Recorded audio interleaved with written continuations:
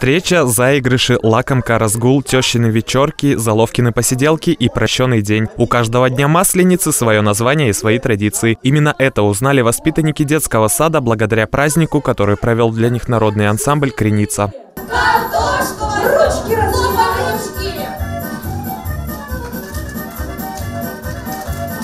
По ходу действа в гости к малышам приходили сказочные герои. Так, например, Баба Яга пыталась убедить детей, что она масленица, и провела для них конкурс с перетягиванием каната. А Снеговик, освобожденный из плена Яги, попросил помочь ребят слепить ему нового снежного друга.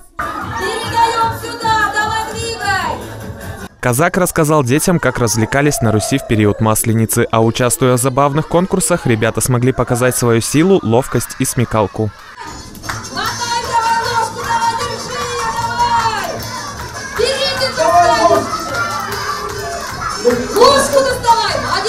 На праздник заглянули Петрушка и медведица Марфа. Больше всего детям запомнился танец от Маруси, как ласково называли ее ведущие. Под финал появилась и сама Масленица. Вместе с ней дети попрощались с зимой и позвали весну. Завершилось действо всеобщим весельем и плясками.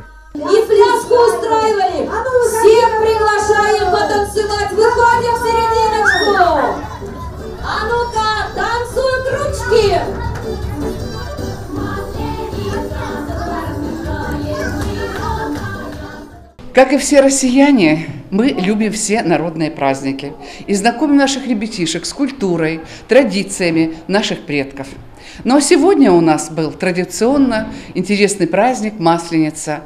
Детский сад номер 165 проводит такого рода праздники регулярно. Как отмечают воспитатели, это хорошая возможность рассказать детям об их корнях, познакомиться с славянскими традициями, истоками национальной культуры, дать почувствовать водоворот ярких эмоций и, самое важное, весело провести масленичную неделю. Дмитрий Беломеснов, Станислав Лазебный, Новости на восьмом.